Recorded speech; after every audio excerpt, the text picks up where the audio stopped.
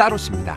봄날이잖아요. 그러면 이제 몸보신 될 만한 거 이렇게 먹어야 되는데 뭐 좀 맛있는 거 만들려고 장 보러 왔거든요. 우리나라 최대 규모의 수산물 전문 도매시장답게 싱싱하고 맛있는 생선들이 시선을 압도합니다. 저 싱싱한 생선들을 초고추장에 딱 찍어 먹으면 캬, 이열치열이라고 얼큰한 매운탕도 좋겠네요.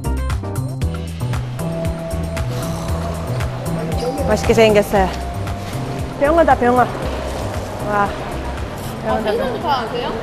아니 원래 저는 생선 해산물 진짜 좋아하기 때문에 어 다 제철별로 다 먹어요. 그러니까 항상 맛있, 맛있게 나오는 것들 다 이렇게 먹죠. 제 생각에 병어가 너무 이뻐가지고 만약에 생 물고기들끼리 미스 코리아 한다면 병어가 이길 거예요.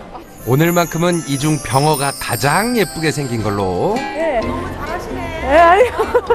아이고, 고맙습니다. 네. 너무 이뻐요, 병어가. 네.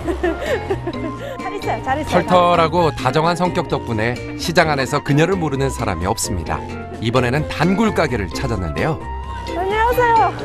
너무 오랜만이죠? 오랜만입니다. 네, 그거 물어보러 왔어요. 요즘 혹시 홍어 애가 싱싱한 거 들어오나요? 있어요? 아니 홍어에도 드세요? 그거 제일 맛있어요. 저는 홍어, 홍어 중에 사실 애, 싱싱한 애를 가장 좋아해요. 그거 한 점에 막걸리 한번 먹을 수가 있어요. 그래서 아니 한국 사람도 먹기 힘들어하는 홍어 애를 아싸, 아싸, 아싸, 아싸. 아싸, 아싸, 아싸. 아싸, 아싸, 아싸. 보세요, 보세요. 진짜 귀한 거예요, 이거. 와, 진짜 귀한 거예요. 음. 다른 게 할 필요가 없고 너무 싱싱하기 때문에 그냥 칼로 살짝 이렇게 먹, 먹기 좋은 크기로 잘라가지고요. 자, 참기름에다가 자, 살짝 이렇게 찍어서 먹으면 돼요. 전 이거 제일 좋아하거든요. 이거 진짜 보양이에요. 진짜 보양식이에요. 예. 오늘의 보양식 이건가요? 아, 이거는 반찬이에요. 예, 안주예요. 오늘의 보양식이 따로 있어요. 한국인 중에서도 미식가만 찾는다는 홍어 애가 반찬이라니 정말 대단한데요. 이것까지 챙겨 먹는 따루 씨의 보양식이 점점 더 궁금해집니다. 안녕하세요. 바로 이겁니다.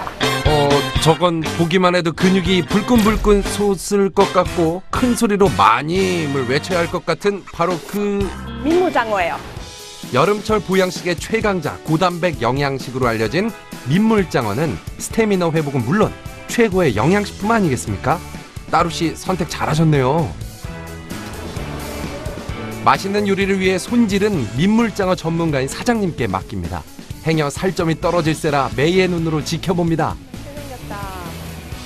오래 살다 보니까 그 보양식 문화를 많이 접했잖아요. 그 중에 특별히 이제 이 민물장어라는 게 잘 먹으면 오, 뭐 소화도 잘 되고 기운도 나고 저한테 딱 맞는 것 같더라고요.